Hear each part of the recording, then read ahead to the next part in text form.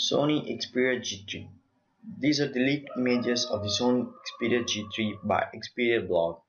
The forthcoming smartphone would run on Android 4.4.4 KitKat OS and will be powered by a Qualcomm Snapdragon 801 chipset, also seen in the firmware build 23.0.g.0.98.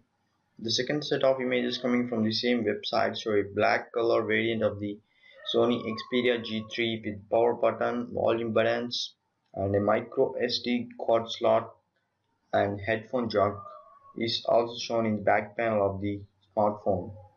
The smartphone will feature a 20.7 MP rear camera with Exmor R sensor and G lens. To give a better idea of damage of the smartphone, the Xperia Z3 and Samsung Galaxy Note are kept side by side.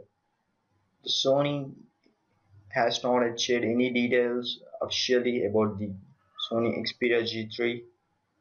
Some leaks indicate the existence of Z3 compact surface online. The report mentioned Xperia Z3 compact model name is D580X and the smartphone might feature a 4.5 inch 720 into 1280 pixel density. Other like Sony Xperia Z3 specifications include a quad-core 2.5 GHz Snapdragon 801 processor and Adreno 330 CPU, 2 GB of RAM, 20.7 megapixel rear camera and a 2.1 megapixel front-facing camera.